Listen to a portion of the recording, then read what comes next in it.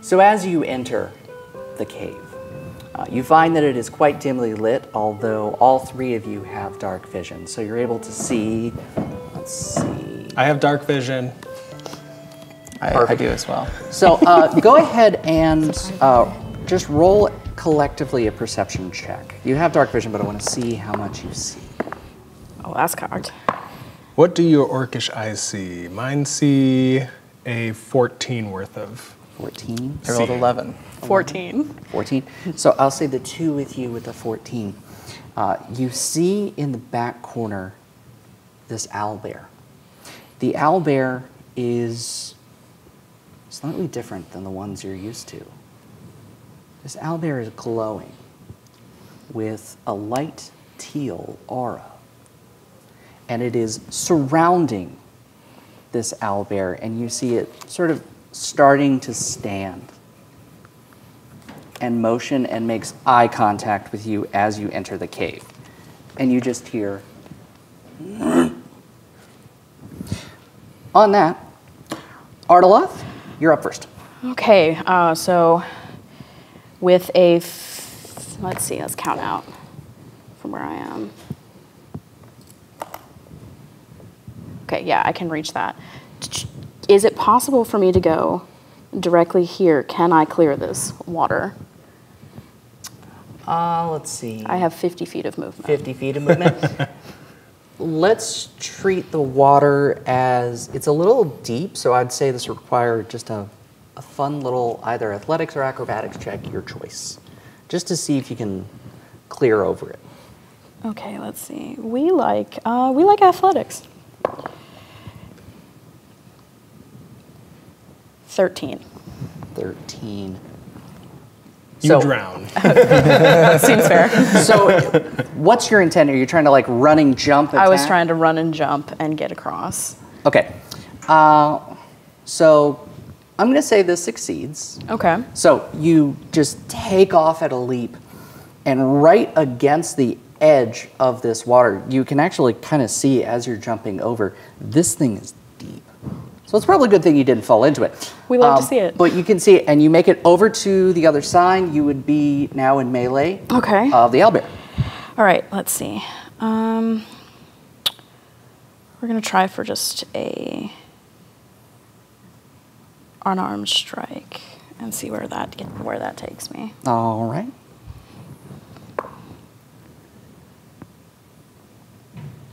Thirteen.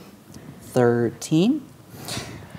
So as you make this leap, you go in with your fist in the air and you punch down and you manage to hit right along the shoulder of the owlbear. Roll damage. Okay. Let's Nice. see. I love to see it. Nice, nice. First blood.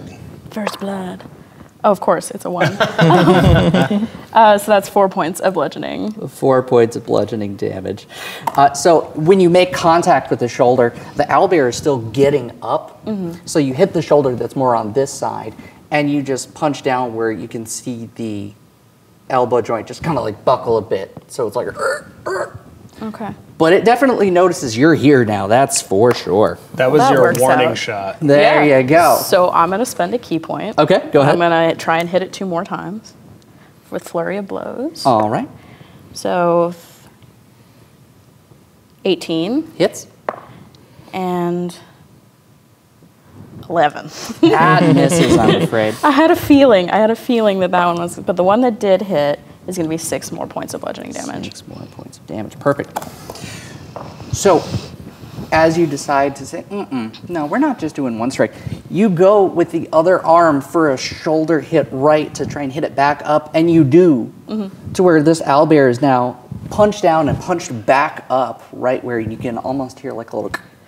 Ooh. Nice. Popped his shoulder back in. You- you- I don't know whether you realigned or disaligned the chakra, but we're going to find out. We're gonna find out.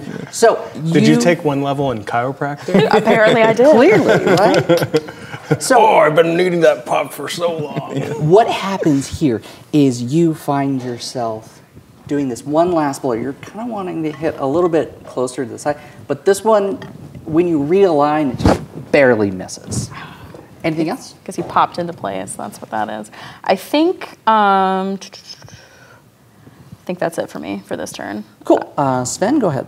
Alrighty. So I look over and I see this kind of ra- raised elevation area to the Yeah, it's to about right it's about five feet in the front of it and ten feet in the in the rear of it. in the rear. Yeah. Okay. Well, I see that, and even five feet is too much for me to climb. So I'm going to go ahead and misty step. Okay. That's my bonus action. Excellent. So, So 30 feet? That'll be one, two, three, four, five. There we go. That's good for there. Yep, that's twenty-five feet. So we have five feet left. Okay. I'm good right there as long as I'm in high elevation. Yes. Um, and then I look over and as, uh, as my action, I'm just going to go ahead and take, uh, just do my cantrip since I've already cast a spell. Okay. I'm going to do frostbite onto the owlbear. All right, let me check something here real quick. Okay. Um, so I will say that Arloth is slightly in the way, so that will affect this ever so slightly. Okay. But in general, you should have, because you placed yourself right here, Yeah. if I'm Yeah. correct. Yes. So it affects it a little bit, just don't nat one, you're fine. Alrighty. I can take No it. You're pressure. No pressure. so when I misty stepped, I actually uh, kind of disappeared into the ground and reappeared into the space that I wanted to be. Excellent, Terrifying. I love it. Awesome. And then, but this one, it doesn't require a spell attack. It actually requires a Constitution saving throw. Yes, that is correct. And I'll go ahead and tell you that I went and rolled for the owlbear, and uh, yeah, that did not end well. The owlbear is not going to know what's coming, didn't even see you hit the step, and is not going to see the spell coming. Okay. Fail- failed miserably. All right, awesome. So that is 2d6 damage, Okay. Uh, seven points of cold damage to the owlbear, and he, he now has disadvantage on his next weapon attack. So, Okay. So seven damage, hold please. so as I cast the frostbite, the frost kind of takes over the owlbear and just kind of slows his movements in general, making it harder for him to attack. So as this frost hits, you see little icicles spread around. The icicles continue to spread and add to the aura. Okay. It almost like emphasizes this aura and it glows slightly brighter. You can tell that it kind of hurt, mm -hmm. but I don't think it did exactly what you intended. Oh, okay. Uh, well, Anything that else? terrifies me, the seeing it kind of take on that form. Um, and that that's all I can do on my turn. From a front row seat perspective, does it look like it added anything, or would I be able to tell? I'll say go ahead and make an arcana check. Oh, great! I'm good at that. I jinxed myself. It's an 18. Actually, just kidding. Uh, so you do notice that there is some sort of effect, and you almost hear this little. Oh, I don't like that. and I don't like that.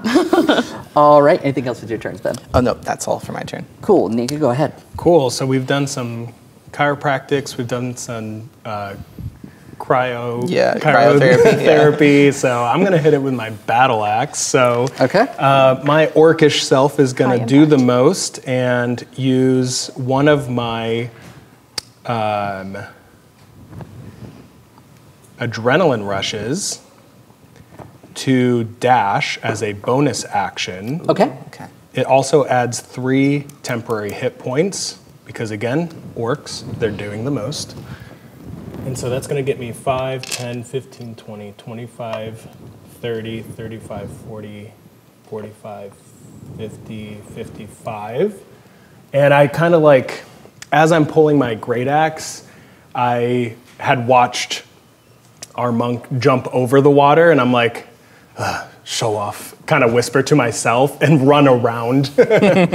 um, let's see, since I still have some movement to flank, what I need to get exactly on the opposite side. No, I'd say like right here is enough Yeah. of a flanking. So instead of going that straight, I'll go diagonal. Okay, that's fine. set up a flank. Um, couldn't care less about whatever arcana stuff is going on. I do kind of like feel bad for chopping into this thing because the teal kind of matches my orcish teal hair.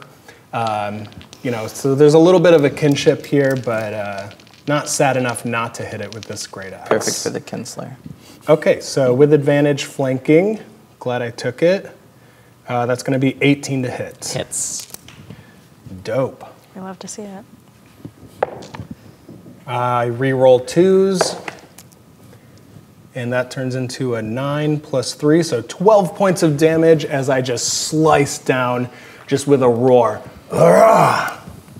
So as you slice down, you're like, mm, one shoulder's already occupied. Let's go for the other shoulder. so as you hit into the shoulder, you make a nice little fissure.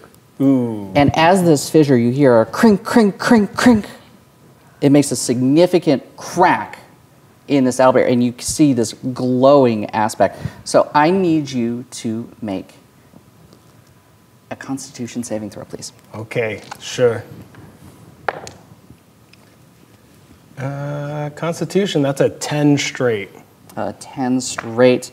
Uh, so you feel this burst from the fissure, and it hits like right on your hip. Ah. And you're going to take four points of cold damage as the icicle slowly spread onto your hip. Not cool. Oh, but I mean, is. but it is cool. Anything else with your turn? Uh, let's see. Bonus, move, action. Oh, I get to make two attacks because I'm level five. Go ahead. Right. Hopefully, I don't do as much damage this time, I guess. The ice makes it extra cool. Ooh, okay. And with advantage with the flank, I do a 19 to hit with the great axe hits. again. Nice. So I'm like, that shoulder's weird. so I'm gonna go for like the hindquarters. and let's see what I get.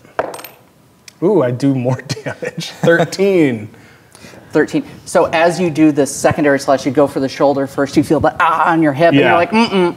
And you slash through. And it's going to be, again, how many points of damage? Uh, 13. 13 points of damage. Big Yes. damage. Anything else with your turn? Uh, that will be all, and that was slashing damage. All right. Need something here real quick. I don't like that. More fun.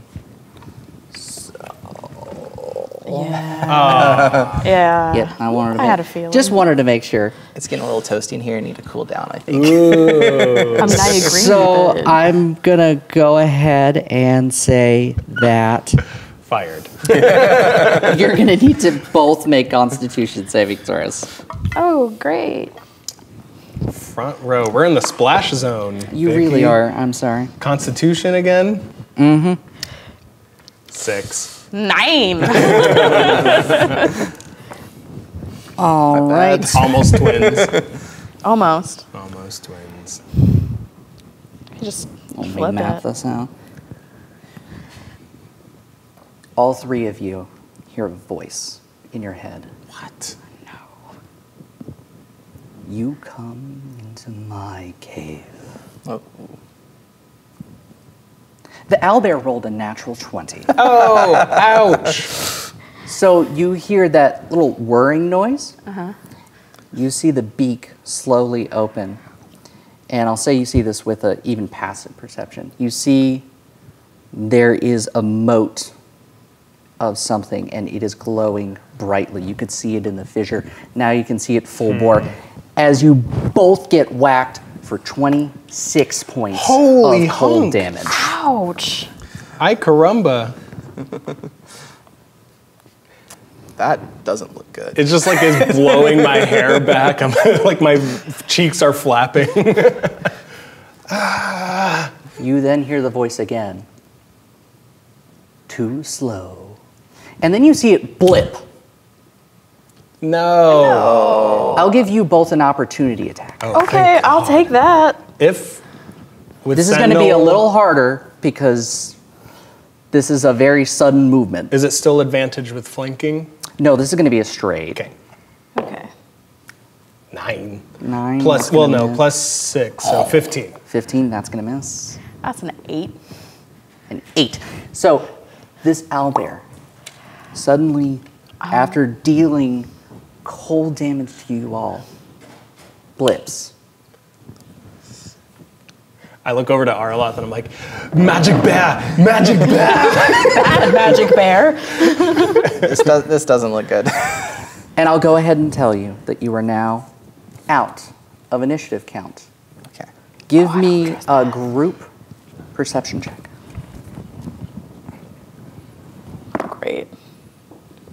12. 12. 16. 16. Whoa. Nine. You're the only one that sees this because you have the high ground. Mm -hmm. You see, when it blips, you see the mote actually stays mm -hmm. for an infinitesimal moment longer. Mm -hmm. And you see what appears to be a butterfly. Okay. As it and it stays for a moment longer. All right. Does it feel like it? So it feels like the presence is still there. Do I think it's going to come back? With- I would- I would say no. Okay. You, you definitely see it blip fully out. Okay. I am going to quickly use my divine sense to see if this thing is celestial, fiend, or undead. Go ahead. And it just happens. It just happens. No- yeah. don't need to roll. No Cool. roll. Uh, within 60 feet and not behind total cover. Oh, it's definitely celestial. What? Nix that. It is Angel Bear. Exactly. this is a very short introduction to D&D. Today on Let's Play Games, we're going to get into the most famous role-playing game in tabletop version. All of this will make sense once we get through. And this time, as you can tell, I have help.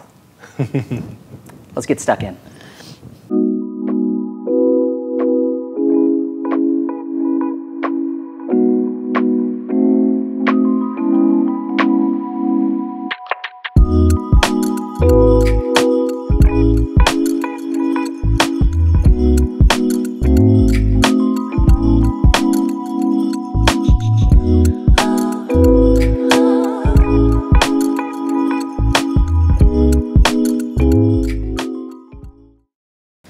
Welcome back. What we're going to have here is in this episode, we're going to talk about what we would call a session zero. This would be before any sort of play takes place. You've decided you want to play, but first, you need characters. So we're going to go through this step by step. Today, I have with me three of my lovely coworkers. If you wouldn't mind introducing yourselves. Hello, I'm Andrew Palmer. He, him, they, them pronouns. I work here at the main library in the teen department, running D&D programs, uh, gaming and video gaming, and all sorts of fun stuff. So, um, super happy that I got invited to be here, and I'll be playing Nika, the kin killer. Vicky. Okay, um, I'm Vicki Fritz. I am the teen associate at Thompson Lane's library branch, um, and I go by she, they pronouns. And the character that I intend to create is going to be called Arteloth St. George. Uh, I'm Chase Caudell. I work here in adult services at the main library. Uh, I maintain the board game collection here at the main library and uh, excited to be here. Thank you for the invite, John. Uh, today I'm going to be playing a wizard uh, named uh, Sven Arthburn. Scooch this just so everybody can see. So, uh, first, we've already created some characters, but these characters are representative of three different types of characters you can play. There's a myriad of options, but we simplified it into a couple ease of use characters.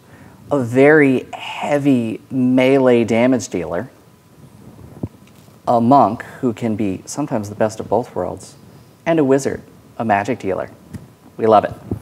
So, in any character creation, you first want to think about what type of character you want to play. So, Andrew, why did you decide to play Nika? So, Nika is a paladin. A paladin is, uh, to use that same phrase, kind of get the best of both worlds. You can do some heavy martial. Uh, you have proficiency, which means you're used to using like heavier armor, bigger weapons, two handed weapons. So, you're going to be dealing a lot of damage with those. Um, but with the paladin class comes a few uh, healing abilities and something called smite later down the line, which just makes you do more damage. Um, so, kind of wanted to be a character that's up front in the action, in the splash zone, if you will, and but also able to um, stay up with the healing abilities and not go f- full frenzy mode like a barbarian or, or a fighter, um, but have a lot of those fighter type abilities. Now, you also decided to play orc. I did. What went into that?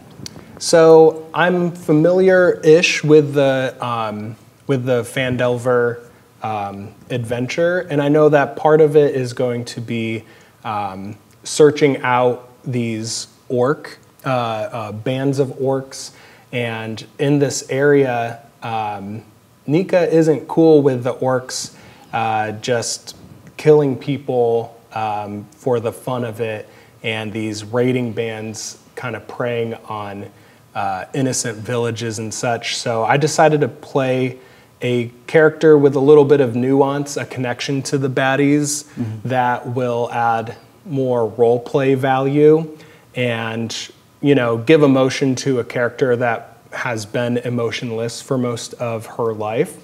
Um, and the orc race to play has a lot of cool components to it, such as um, I think it's called, let's see, Relentless Endurance, which means when I go to zero hit points, you normally just are unconscious and roll death saves. Uh, but instead of that, I will pop back up with one hit point and give me another chance to either heal or do some damage before going down again. Uh, there's a few other aspects as to why I chose Orc, but um, we'll get into that in the character creation. Oh, absolutely. Uh, tell me about yours. You're a tiefling monk. Tiefling monk. Um, partially, I picked Tiefling because I wanted access to some of the spells that would come along with that, because they inherently have certain cantrips that they get access to. Um, I was also interested in, selfishly, I wanted to be purple. I'm allowed to look choice. cool. I'm That's- purple too. Oh, we are match. twins. We are twins. Yeah. Now, for purposes of explanation, can you explain a cantrip?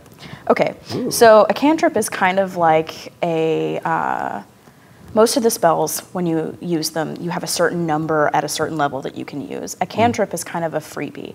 It doesn't really cost, it doesn't do as much, but it also doesn't cost as much. So, um, for example, I would have access to. Goodness, I don't remember which one that you get first. It's like a low effort spell Yeah, it's it's when you're sleepy. Yeah, Yeah. something you can do at will. low energy. Heat up your coffee. It also helps if you've run out of spell slots. Yes. That's true. As a caster of any sort, spell slots are sort of like your font of energy that you have to use. So you've got different options. What about your uh, character background? So I leaned into making a uh, a noble that has changed skins essentially and wants to become a little bit more in tune with uh, finding balance in the elements and seeing the world from a different perspective. They're kind of tired of the nobility aspect. Um, so a lord who wants to play at being a common folk and I is it. going to go through the monastery to accomplish that. That's perfect. Now, Sven. So Sven, Sven Arthburn. So I chose uh, Sven because, um, like, as a wizard, I, you're able to kind of control the battlefield in a way um, from a distance. uh, definitely from a distance. I'm not going to be your upfront fighter. Um, I'm focusing more into defensive spells, um, things like mage armor and shield uh, and uh, counter spell, things like that, to really help me control situations so that I can um, let my teammates do most of the damage while I Hey, keep them it's good. protected. You want to live to tell the tale. Which is Exactly. fair. We need at least one of those in the party Yeah. since we're both right up there. Run away. Living to tell the tale is very important to Sven because his whole goal here in Phandelver um, is to um, pursue his academic studies. Uh, he's a very studious type, like coming up through the academy, um, and he's currently on an expedition to um, research the different um, magical infusions from the gems, uh, gemstones, and stuff from the Phandelver region. So, So you're a nerd playing a nerd. it, basically, yes. Playing the nerd Play what you know. My first character was a socially awkward wizard tiefling. It works. It works. But notice that there's so many different ways and types to create characters and archetypes and backstories. You notice I'm behind a screen. I'm playing as the DM or the GM in some definitions, depending on what type of game you play. My job here is to help with the character creation process, to help with the story. Yes, your job is to absolutely survive, but mine is to create the narrative around which there is tension and action. And we'll have some asides going into the DM process. So if you're curious about DMing, don't worry, there's plenty here for you too. So let's go into how you created your characters. Obviously, we've already rolled them to high heaven, but there's a couple different ways that you can build these characters in the first place. Everything in this game is resolved through dice rolls. And there's a little set of dice that you can usually get, but the most important here is going to be the D20, a 20 sided die. We all use it a lot. This is what determines your actions both in combat and in exploration. You heard earlier there was a mix of investigation checks to see your surroundings, an athletics check to clear a boundary or make a leap of action. And there's a number that you usually have to clear, which is decided by the DM. So you rolled, what was it, a 13 on the athletics? 14. 14 on the athletics. So jumping over, I had it as a, an easy DC or difficulty class. All you needed to clear was 10. Anything beyond a 10, you're getting there. If you rolled a 9, there would have been some outcome or action, which can be you fall into the water, or you take a little bit of damage, or you fall into the water, take a little bit of damage, and your pride's hurt. this is part of the game. And as you get to higher levels, uh, you heard Andrew say that they were playing level 5 characters. As you start getting higher level characters, things get more dangerous, interesting, a bit spicy. But as you created your characters, we're going all the way back to level 1. We're starting from simplistic level. So there are kind of two major ways that I guess we need to talk about of how you built your characters. So first off, let's talk about the actual rolling, and then we can talk about another way to do it. Okay, um, so I've seen a couple of different ways to do this. Um, preferred method when I play with my my friends and I am DM is I normally roll with five d6 and you take the three highest. But I've seen people do it with just 3 and then you just roll. You get what you roll. Mm-hmm. And typically, it all in the book it usually suggests four d6 and take mm-hmm. away the worst. And also, as a DM, you can have some rules for the interest of your players.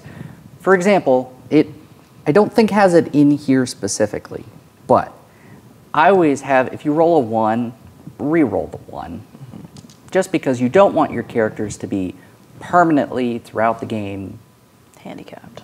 disadvantaged by having some sort of if you roll really really badly you've got a better shot. And also it allows me to throw more fun things your way. So when you did that with your rolls um, did you roll by individual ability score or did you roll and then allocate I roll and then allocate. Perfect. So we've got the various ability scores, and they go into a couple of different classes. Strength, which is your ability to lift, ability to move, ability to jump. Dexterity, your ability to dodge, your ability to get out of the way or do some sort of fancy high wire acrobatics.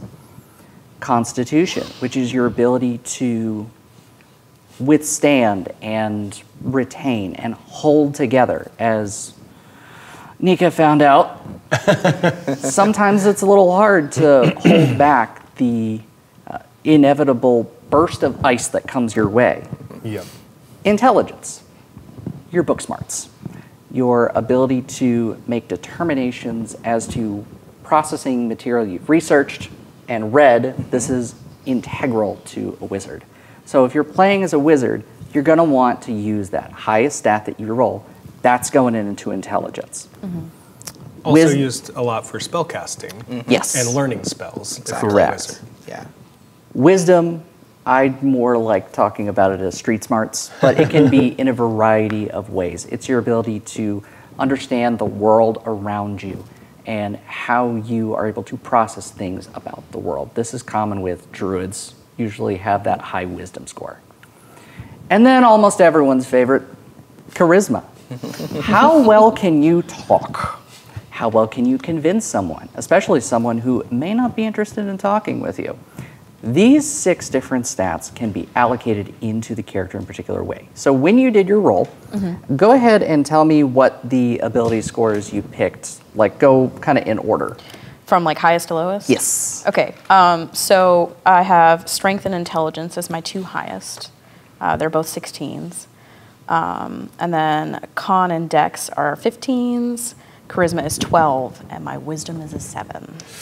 Wisdom being a seven. So let's talk about modifiers real quick. Okay, So what does a seven mean in terms of how it affects your rolls? okay, so with a 7, you would roll a d20, and then uh, you'd actually have to take two away from the total that you get. So it's a minus 2 modifier. Right, compared to your highest stat, which was 16? 16. So what would that modifier be? A plus 3. Plus three. So every step up in two points, yes, this is math, apologies. it affects how you are able to interact. If you have a plus 3 mm-hmm. you're going to be able to interact with the world better based on these stats. And it also means that when we get to actual role play, it affects how you interact with things. So the two of you took a completely different method. Right, yeah. Uh, we both chose point buy, which is another system explained in the player's handbook as a way to allocate stats. Uh, with point buy, you really start, every stat is equal, is, is set to eight at the beginning. It can go no lower than eight, um, but then you have a certain amount of points to buy or allocate uh, to each of the stats up to a certain level. The maximum you can take a stat in point buy is 15 uh, before any additional modifiers that you get in character creation. Um, so for me, for example, um, my most important stat as a wizard was intelligence. It's my spellcasting modifier as well as my ability to study and research and kind of um, investigate my surroundings uh, or understand the arcane. So I took my intelligence all the way to 15, um, is the highest I could, which gave me a plus two modifier on that stat. And then I was able to add an additional um, bonus due to me being an Earth Genasi. Uh, I was able to add a plus one to that to take it to a 16, which bumped it from a plus two to a plus three overall. Correct. So with these stats, let's take a look at our respective character sheets. And let me put this out here so we can have a little bit easier to look at. This is a blank one. So the important thing here is we're going to ignore here, here, here, all of this. We're just going to focus on these right here. So all of these numbers that we've talked about, we would respectively write in. Do you mind if I use your- absolutely. Perfect, thank you. So notice it's blank here, so we're just going to scooch this one in. The points were allocated, so we talked about the 16, the 14, the 8. That had a minus 1. This goes into our skill sets. So with these stats at a baseline, we'll get to the other part here in a moment. Talk a bit about the skills. So I noticed that you were able to, and you'd be able to with creating a character too, have proficiencies, things you're especially good at. So talk about the skills that you have, for example, religion you have proficient in. How does that go into your character? So, as a the studious type from the, the academy, I study a lot of like uh, local lores and things like that, and study the cultures of the people of whatever region I'm, I'm particularly interested in. In this case, Phandelver. Um, so I would um, I took proficiency in religion so that I would have familiarity. Uh, whenever I make any of those checks outside of combat, say we find a text in uh, uh, in one of the stores there in uh, Phandalin, I can uh, look at it and kind of better understand um, based on my knowledge of the local surrounding. Right. So then we also have these saving throws here. Uh, why is intelligence and wisdom higher than the others here? So intelligence and wisdom are higher than the others because that is a feature of the wizard class. um, intelligence and wisdom, you gain proficiency in, the, proficiency in those automatically just by being a wizard.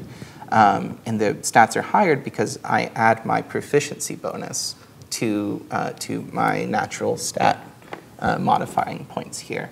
Uh, proficiency bonus is a blanket bonus that everyone gets, and at level one, it's plus two. So I take my stat plus the plus two, it puts my intelligence wisdom saving throw to a plus five. Right. And a lot of these initial stats go into how your character is.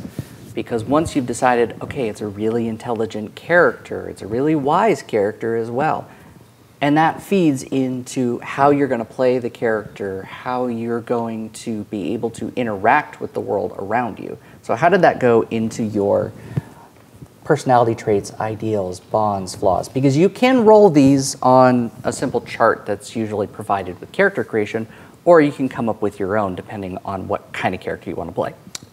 Yes. So um, I went, uh, as I've mentioned before, I went the studious route as the uh, academic wizard, um, and those flaw- uh, uh, bonds and flaws and things like that. I'm uh, my pursuit for knowledge in whatever film that I'm or, or uh, field that I'm currently studying.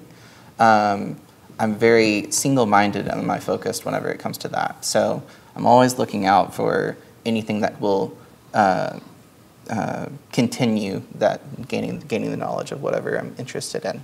So I'm not uh, if something is dangerous, I don't really care if it's dangerous because there might be something that I need to know over there. so Right.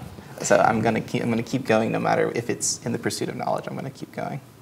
So, with this, you've heard numerous different ways to create a character, to experience the world around you. You heard so much about combat and what we're doing when we're actually in some sort of engagement. Let me take a step back. More on that in a moment because now we're going to add some equipment to your characters. Mm-hmm. One second.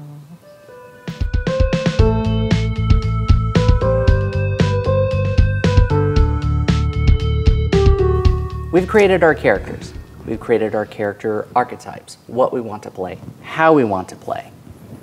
Now we've got to give you stuff to do. One of the things you'll find out is there is a currency system within D&D and they can be in different piece types. Silver pieces, gold pieces, platinum pieces.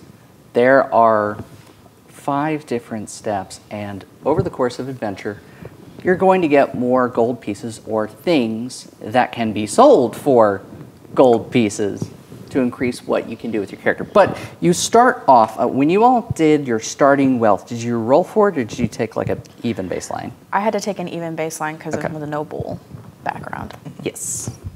Uh, what about you two? So I did the equipment, uh, uh, just acquiring the equipment through character creation. So I got the baseline from my background of us as a sage. What'd Yeah, you do? Baseline as well um, with the starting equipment. Now, I'm going to use you as the example here uh, in your paladin. On here, it specifically says 5d4. So it's these little triangle die right here. The devil. dies. Terrible to step on. Terrible Yes. to step on. Worse Please than avoid if you can. Basically, caltrops. So it'd be 5d4. And then do you mind if I roll these real quick? Absolutely. All right. So we're going to take all of these. And we've got three, six, seven, four, so 11. Oh no, catastrophe. So I'll add one gold to my character sheet. There you go. So that would be It's one gold. that one's yours. Right? Uh huh. Yeah, these three. All right. So that would mean that you would have times 10, 110 gold pieces. Ooh, I'll add a lot more. D&D Beyond only gave me 10 gold pieces. That's before purchasing equipment, though. Right. Oh, That's yeah, right. You- touche. You get 10 gold pieces by default at- out of mercy. so first, let's talk about this little shield thing right here. We've got the armor class. So the armor class is, uh, you heard during that combat segment about what hit versus what didn't. When they made the attacks that they made, we were rolling against their armor class trying to see if we hit the other person. So that owlbear from that segment, it has an armor class of 13. So when you make your roll, you make your attack, there will be a modifier, which we'll get to in a moment, and it equaled a certain amount. Some of you hit it, you hit it twice and missed once because you did not meet that armor class. Mm-hmm. All you have to do is meet it or exceed it. Exceeding it is always nice. Mm-hmm. But that is your capacity to take a hit. That's why on that third attack, I just described it missing. That is another role of the DM is using what materials we have with the characters to describe what happens to them. So for example, if you're wearing really heavy mail plate armor and you take a really bad hit, you'll experience a crack in that armor. So it will be part of the description and action. So for you all, uh, I notice your armor class is a 12. Yes. Well, I'm not really a frontline fighter, so uh, and that I got to that 12 just from the baseline of 10 plus my dexterity because I'm not wearing any armor. Why are you not wearing any armor? Because as a wizard, I don't have any proficiency in armor. And that is some of the choices that you can make. What would have happened had you donned some armor? So, for example, if I uh, invested in some like light leather armor, it would have given me a plus one modifier to that armor class. I would have been at a 13 instead of a 12. Right. And some you can have, will have uh, what we're going to call advantage and disadvantage. It can affect your modifiers. So one of the things that you have disadvantage on is plate. We'll use, keep that as an example. One of the things you're trying to do within this game is sometimes be sneaky and covert.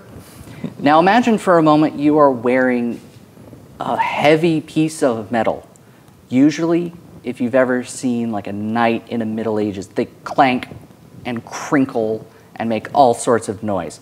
So if I asked for a group stealth roll, It's chainmail, okay? So it's a little bit more fluid, but it's still very noisy. still still It's disadvantage. a little jingly. I'm like, yeah, I'm like Gimli when he puts on that chain shirt and it just goes all the way down. it's Yeah. clink sound.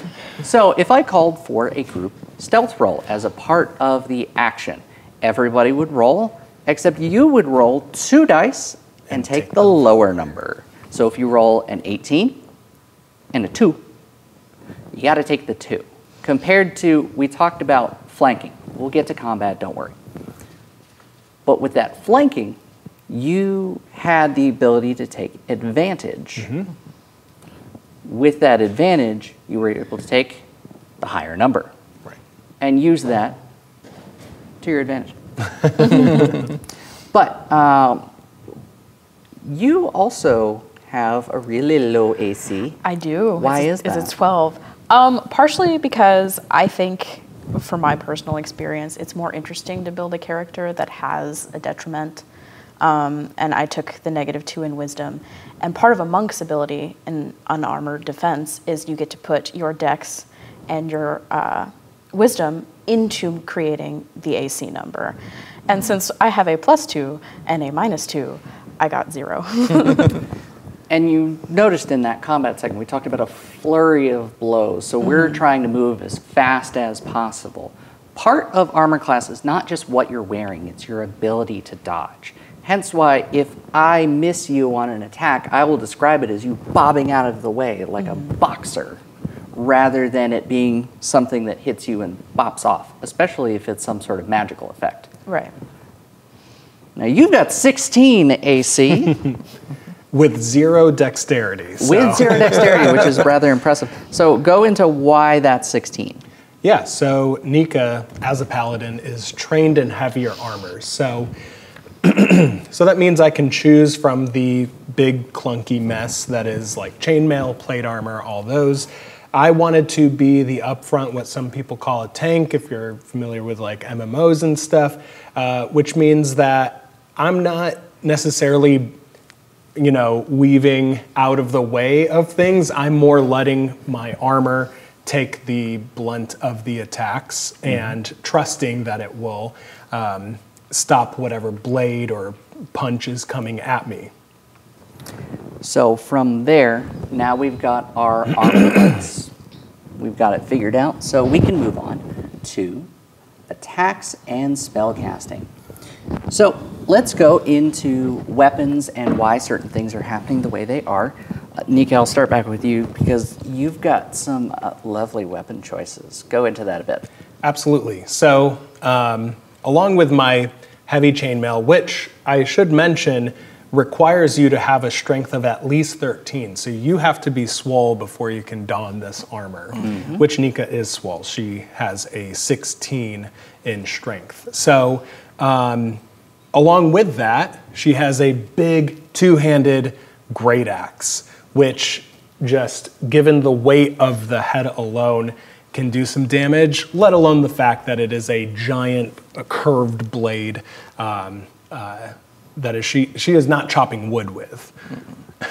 Could, but it would be a little overkill. Exactly. So that's going to put me in melee combat with my enemies and deal a lot of damage. Now, let's say that there was, like in our scenario, some type of physical barrier, like uh, a, a crevice or like a river or something, and I needed to do some distance. Um, fighter types or martial types can choose javelins and that allows them to add their strength modifier to the attacks, which is what you add to melee attacks, and allows you to do distance damage while adding your strength. Now, we'll talk about ranged a second, real quick. Mm-hmm.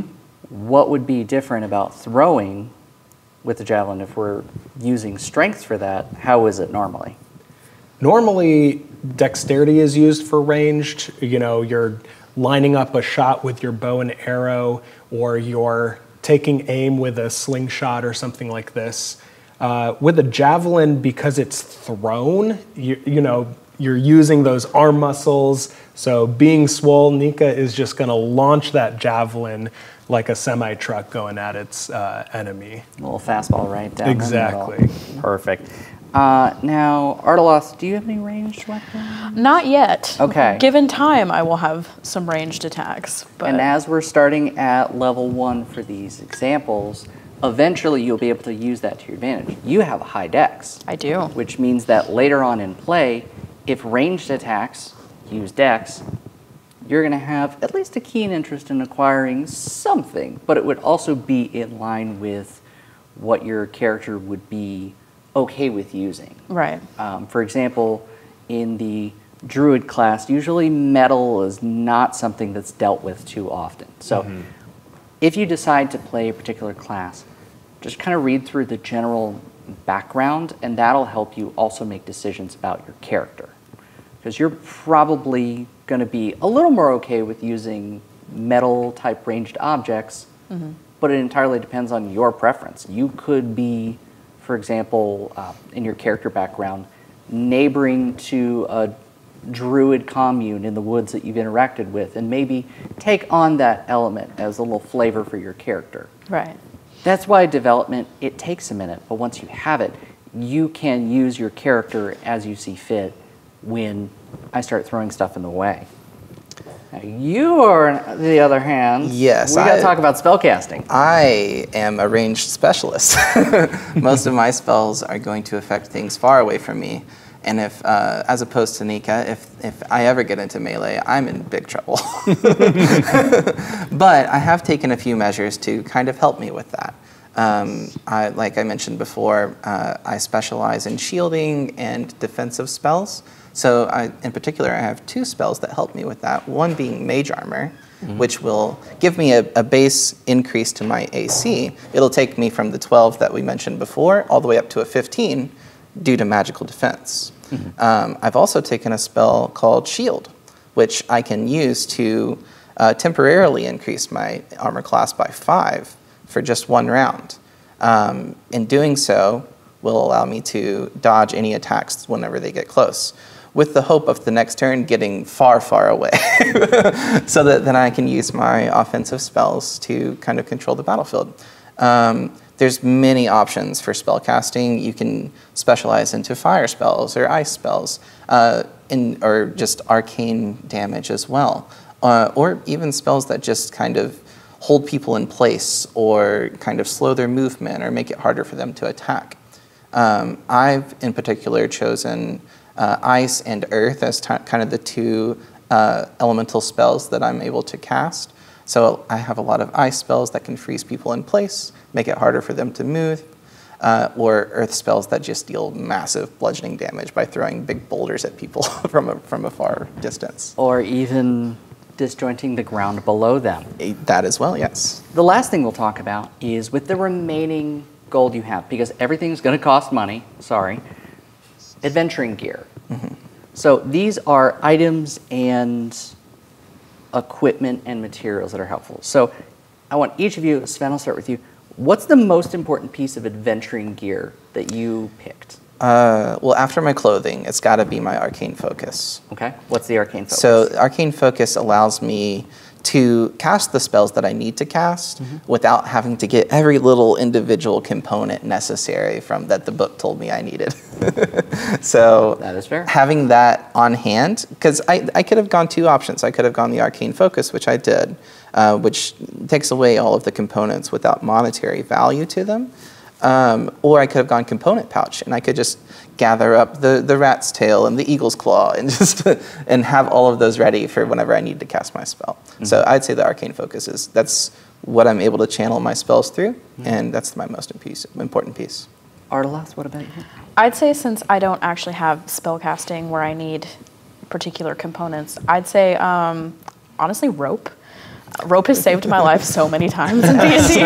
I was like, yes, I will tie everything together and jump across the ledge, and everyone else can follow me. And in the materials, it actually describes how long the rope is. Mm-hmm. So the base that you can get is 50 feet of rope. And it's a hempen rope, which means it can typically hold what we're going to call a medium sized creature. There's different sizes you can be, from small all the way to gargantuan. None of you are gargantuan. My muscles are. Your muscles are swole, Sure they but they're not gargantuan. They are part of a medium sized creature, right? I can throw gargantuan rocks, right? Yes, and, and that is part of the effect where in some spells it says you can throw a large object or a small object. It will actually specify what you can and can't do. Um, John, my size says massive unit, so I don't think. well, let me check my notes. Mm, Nope, sorry, afraid not. That's a custom size. yeah. And this is part size. of the fun of the game. You're around people where you can laugh, have a good time with it, and also we're going to do later on role play of the element. And I'm going to take you through a little bit of a module and a story. This story is one that comes with the starter kit, so it's pretty common and it's not too spoilery. I promise we're not going to spoil the whole adventure. And I'm going to, as the DM, you heard people talk about their stories, their backgrounds. I'm going to try and add that in and give particular reasons why these characters would want to go, why these characters would be there, why they're on a small cart on a road to Phandalin.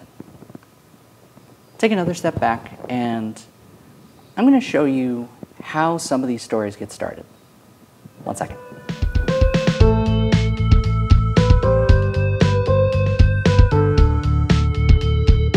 Welcome back.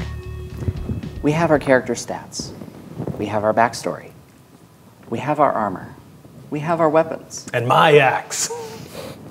And your adventuring gear, which I look forward to seeing what you have jumbled up in there.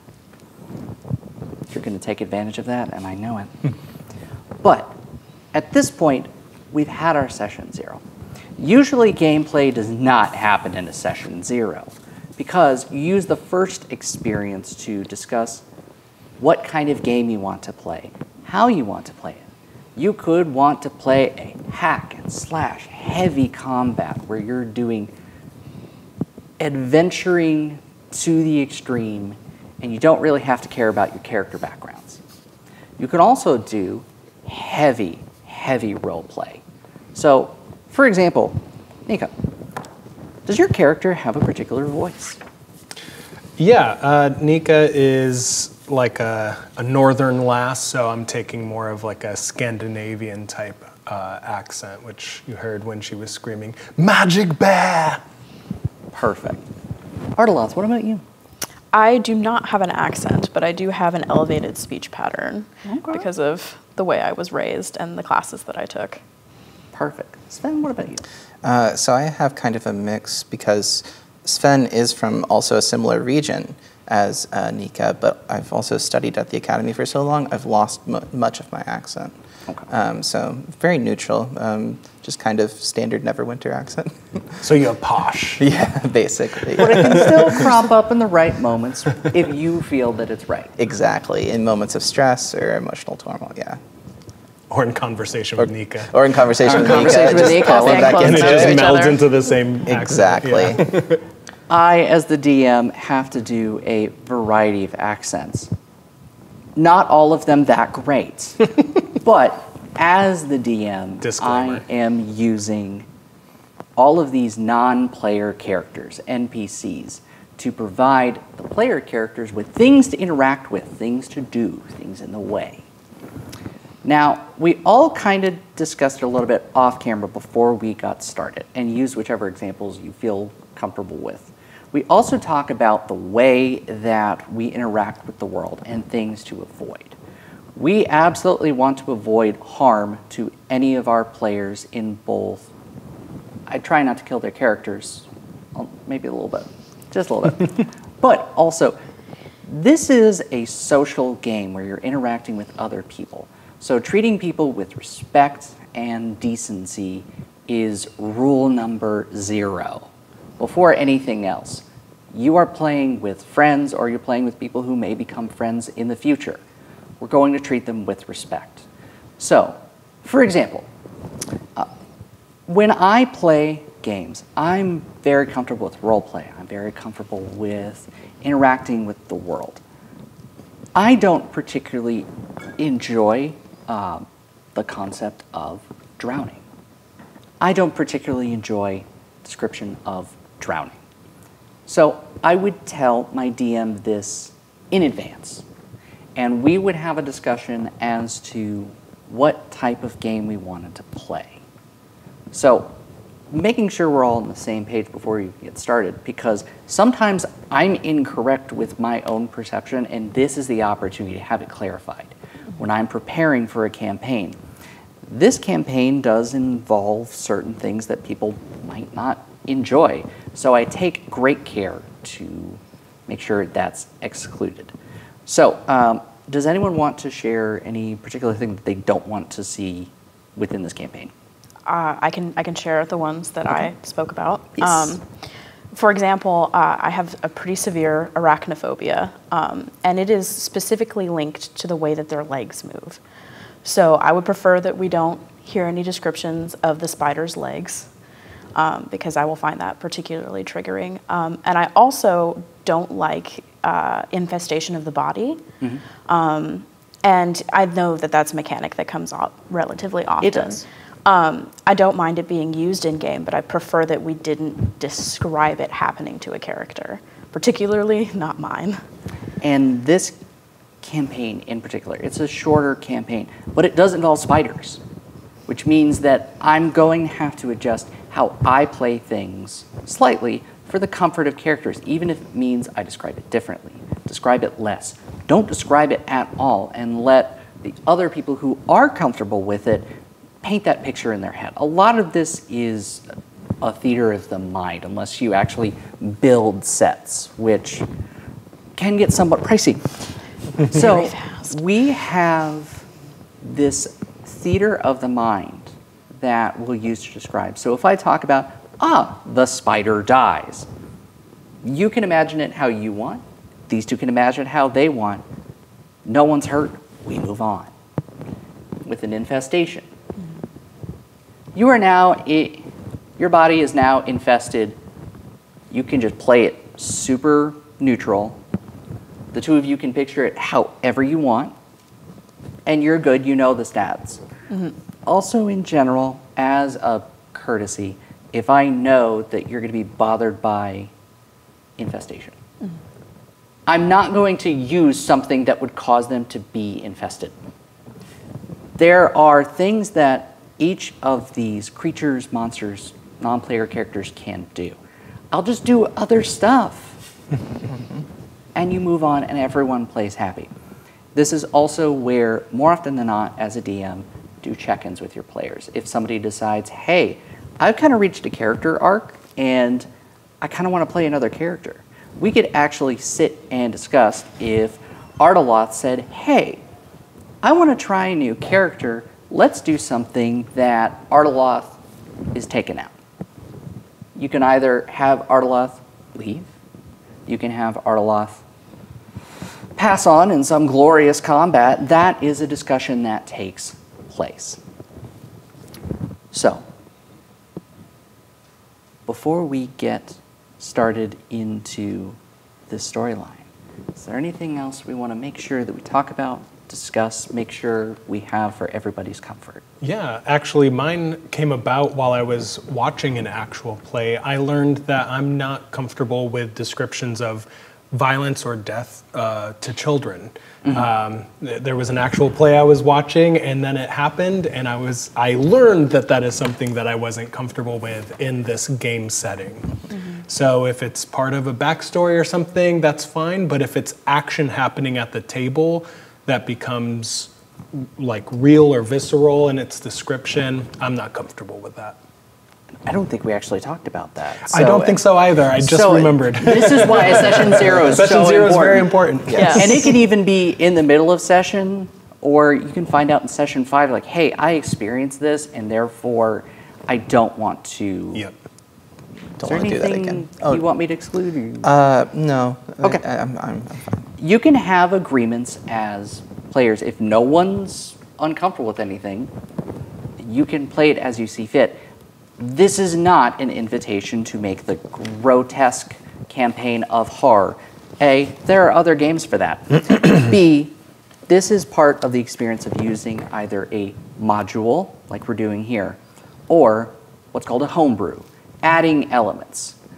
When we heard that combat, the owlbear doesn't typically deal with cold damage. Mm-hmm. The owlbear is not a celestial. that is a creature type. I added that in for a particular reason and something I've used in my other homebrew campaigns. This means I can add a little flavor text and a little fun to it. So work through what you think works for you. As you learn the mechanics of this game, you're going to find that you can use things in different ways, which are really cool. So, I'll just get us started. The module has text that you can just read. And I'm going to go ahead and do that one here. In the city of Neverwinter, a dwarf named Gundren Rockseeker, G U N D R E N, has asked you to bring a wagon load of provisions to the rough and tumble settlement of Phandalin, which is a couple days' travel southeast of the city. Gundren was clearly excited and a little more secretive about the reasons for his trip, saying only that he and his brothers had found something big, and that he'd pay you 10 gold pieces each for escorting his supplies safely to Barthen's Provisions, a trading post in Phandalin. He then set out ahead of you on horse, along with a warrior escort named Sildar Hallwinter, S I L D A R, claiming he needed to arrive early to, as he gruffly described it, "Mm, take care of some business. you've spent the last few days following the high road south from Neverwinter, and you've just recently veered east along the Triboar Trail. You've encountered no trouble so far, but this territory can be dangerous. Bandits and outlaws have been known to lurk across the trail. From here, next episode, we'll actually go into the play of this so you can see how we interact with this world. And don't worry, we'll have plenty of descriptions.